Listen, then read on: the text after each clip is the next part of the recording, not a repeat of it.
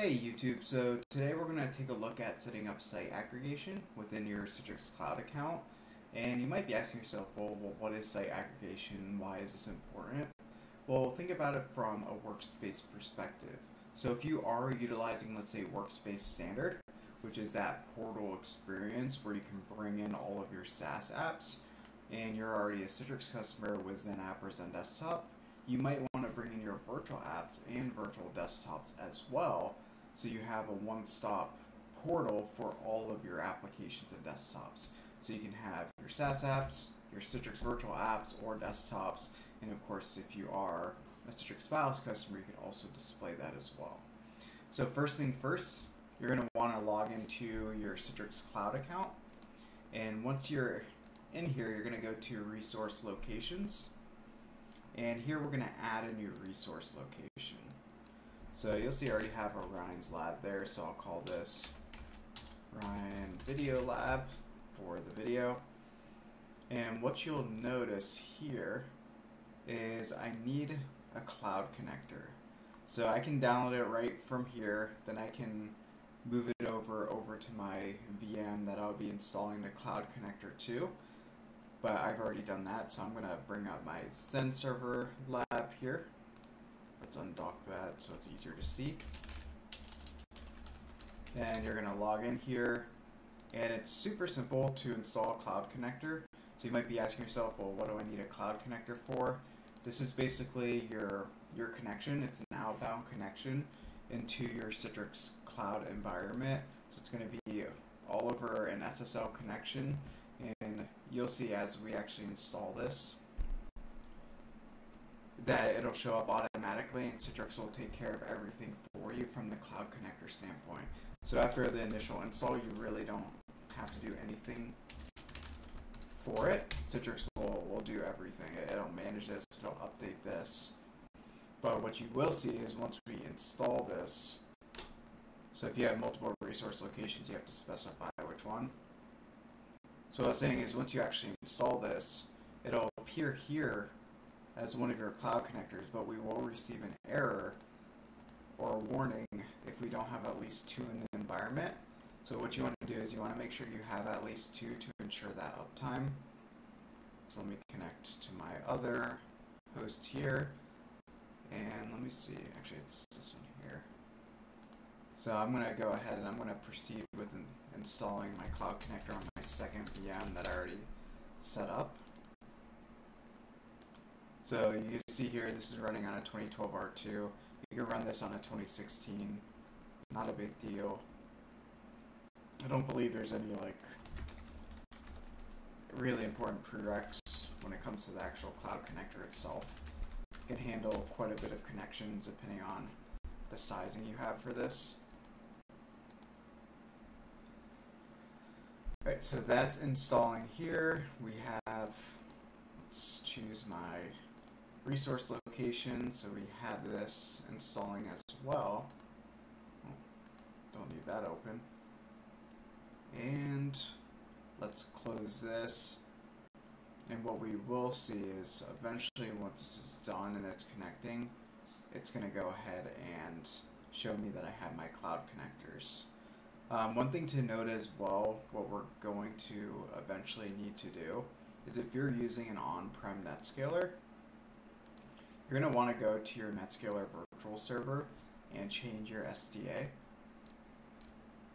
So rather than using your actual delivery controllers as your STA, you're going to want to specify your cloud connectors. So I'll go ahead and, and add one now, just so you can see what that process looks like, even though I'm probably just going to use a gateway service. But you might not necessarily have that available to you. Uh, I just totally used the wrong IP address right there. 131. 131, CTX. Uh, totally, what am I missing here? I'm gonna copy and paste scripts.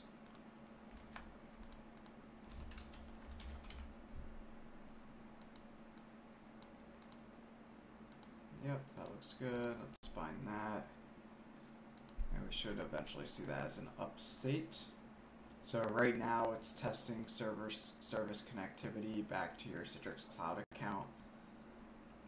And it should be doing, oh, number two is actually already done, oddly enough. So let's refresh this. Let's see if it picked it up yet for that one.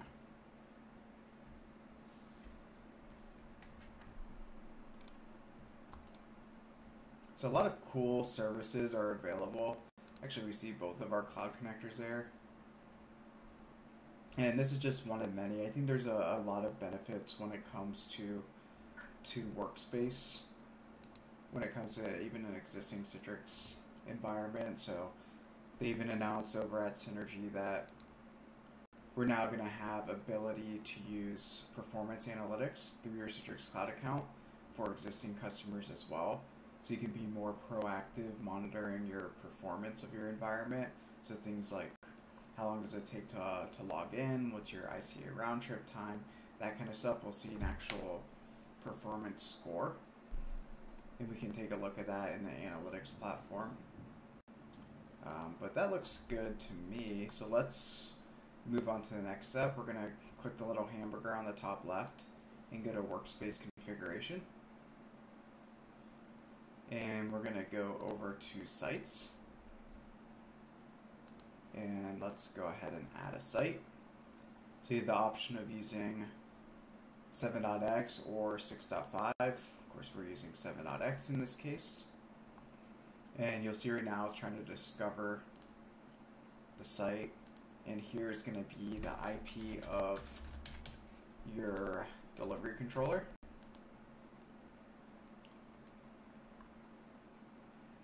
It's going to ask you to authenticate with your administrator credentials on premise. So you'll see mine's already cached there. And of course you could add multiple controllers here once this is actually set up. And success, they found the site. There's my domain, ryan.local. And here's the option where you can use a traditional gateway. I have the gateway service, so for ease of simplicity, I'm going to choose that. But remember, if you are using the traditional gateway, just make sure you go to your gateway and configure the STA to point to your cloud connector. And you'll see now mine's, mine's showing up, the 131. So just make sure you do that. And then save and finish. And just to make sure, so you'll see here under service integration that my on-premise site is disabled. So we want to actually go here. We want to make sure this is enabled. So we see the on-premise site on our cloud account. And what should happen now is when I go to my, my actual user URL, I should be able to authenticate with my on-premise site. So I'll use my Ryan credential, and I should see now all of my on-premise resource that I published out via my Studio Console on-prem.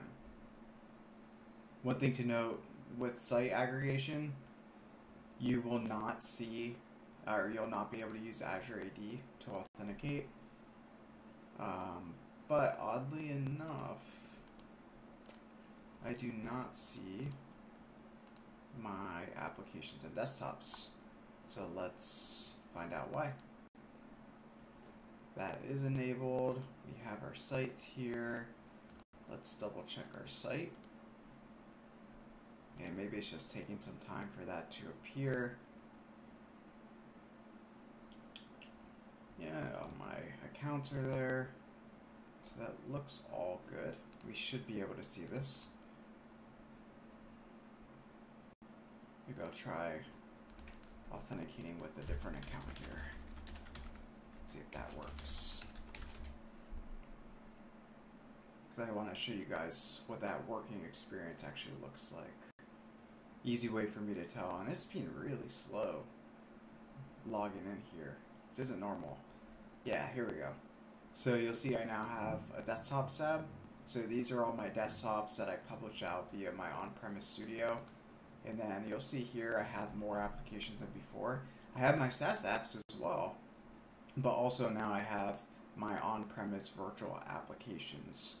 So really simple to enable site aggregation, extremely powerful.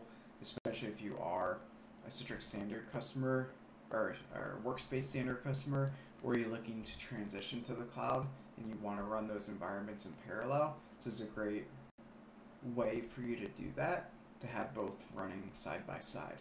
So if you do have any questions, feel free to ask them in the comment box below.